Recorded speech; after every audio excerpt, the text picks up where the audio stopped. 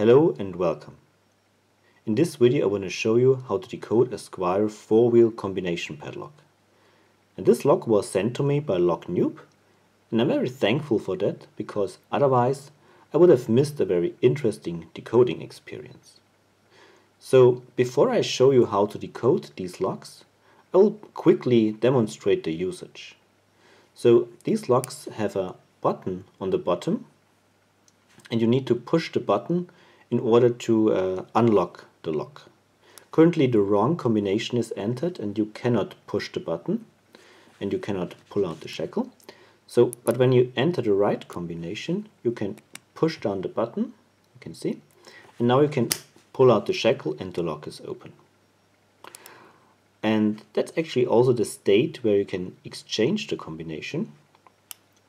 So now the, the wheels, uh, they uh, do not move when you try to turn them with a finger.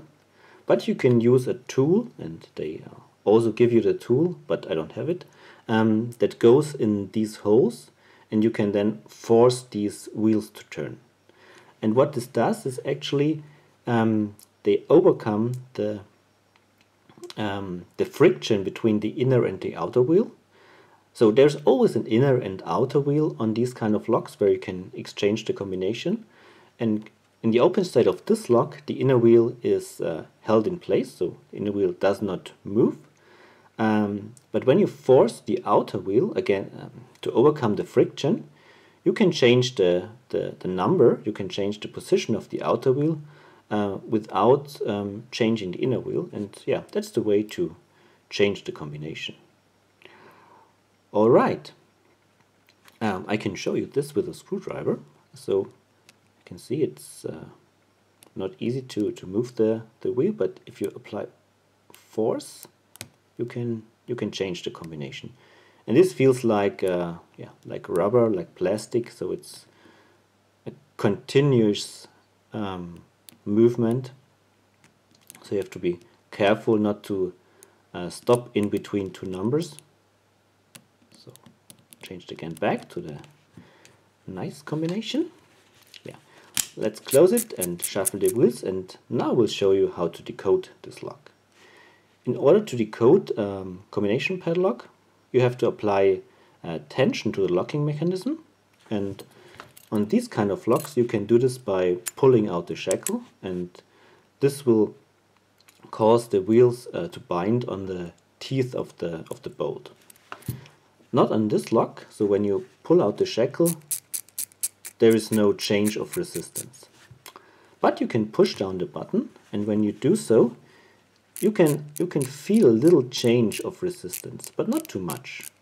So maybe this is sufficient um, if you're very um, careful uh, and you're very carefully uh, listening to what the wheels do, but um, I was not able to uh, get the lock open by just using a finger uh, to push the button.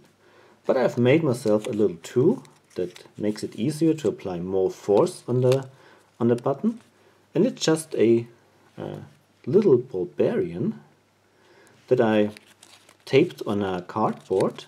And so I can use my thumb like this to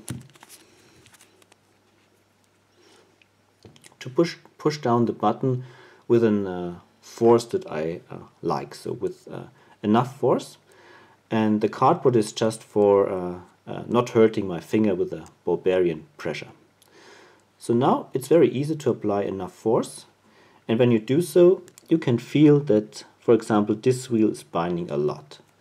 So you will, so this one is free, this one is free, this one is free. This is the first binder.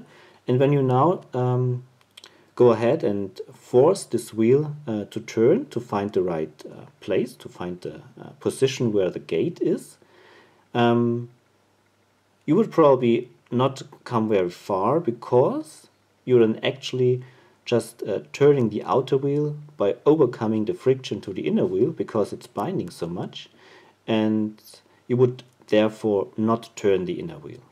What you can do is you can release the tension a little bit and find the right um, amount of uh, um, push strength to the button so that you can feel resistance but not uh, overcoming the, uh, friction between the inner and outer wheel. But there is an easier method and that's testing uh, position by position. So push the button very hard and see if the wheel is moving and it's not moving. Um, release the button and go to the next position push the button very hard and now although you push very very hard on the button you can change the wheel left and right from the position. And that's that's the right that's the right um, right number then. So the right number uh, that's where the gate is um, allows the wheel to turn left and right from the actual position although you are pressing very hard on the button. So that's a very um, good indicator for the right position. So um, go on with the next wheel and one is already the right number. Um, let's see what other binders we have. This is not binding, this is binding. So I know one is the right number and for the sake of demonstration I check 2, I press hard and it's moving only barely check the next number, press very hard, and it's moving freely around this number. So that's a very, very easy and very definite um, test to find the right number. So now the last. It's not moving, it's not moving. Press, it's not moving, it's not moving. Oh, ah, it's moving a bit, check the next. It's moving freely. So 4 is the right number. And we're probably not quite right with one of these. So let's check. I'm still pressing the button. Or are we already open? Now oh 4 was not uh, at the right uh, place. So that's sometimes um, yeah sometimes you need to turn the, the wheels a little bit left and right while applying tension when, uh, when they are actually at the right place because I think the gates are very narrow but now lock is open.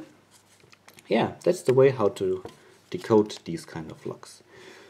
Actually very easy um, very reliable. Ah, great fun. So again lock noobs lock noob thank you very much for this lock and uh, everybody else. I hope you have enjoyed this little decoding session Happy picking and decoding. Thanks for watching and bye bye.